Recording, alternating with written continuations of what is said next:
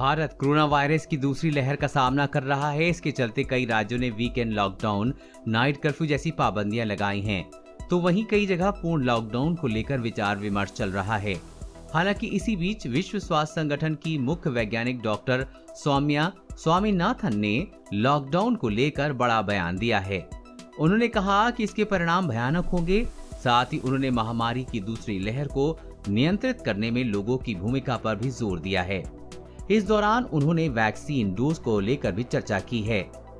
अंग्रेज़ी अखबार the Indian express के मुताबिक, डॉक्टर स्वामीनाथन ने कहा कि तीसरी लहर के बारे में सोचने और पर्याप्त लोगों को टीका लगाए जाने तक हमें दूसरी लहर का सामना करना होगा।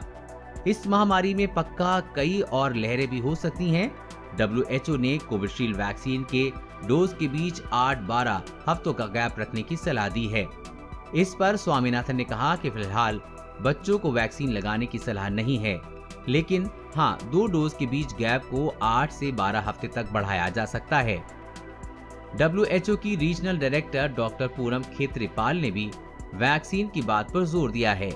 सात अप्रैल को विश्व स्वास्थ्य संगठन दिवस के मौके पर उन्होंने कहा कि संक्रमण की नई लहर पूरे क्षेत्र में फैल रही है।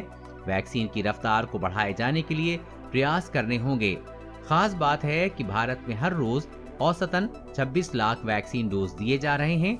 इस मामले में भारत से आगे केवल अमेरिका है। वहाँ औसतन 30 लाख डोज रोज दिए जा रहे हैं।